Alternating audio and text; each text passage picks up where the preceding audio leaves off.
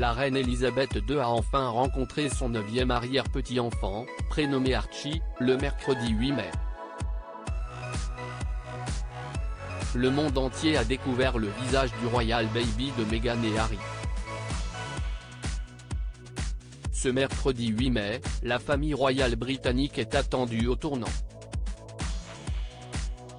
Meghan Markle et le prince Harry ont présenté à la mi-journée le Royal Baby, tout en affichant son doux visage.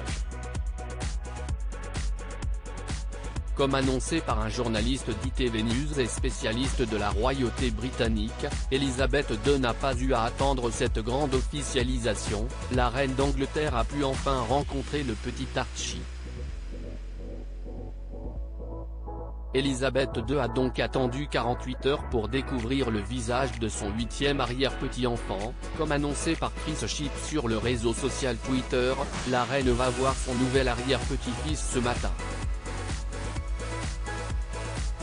Une information confirmée par la famille royale ce mercredi 8 mai avec l'officialisation du prénom du Royal Baby, qui se prénomme Archie Harrison.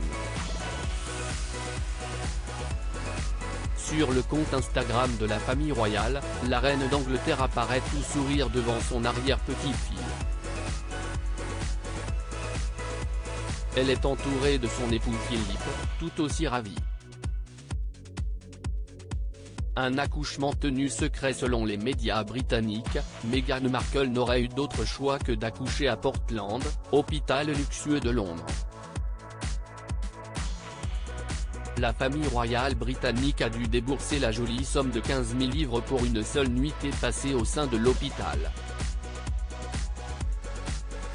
Aussitôt l'accouchement terminé, la duchesse de Sussex a rejoint dans le plus grand secret Frogmore Cottage, entourée de son époux prince Harry.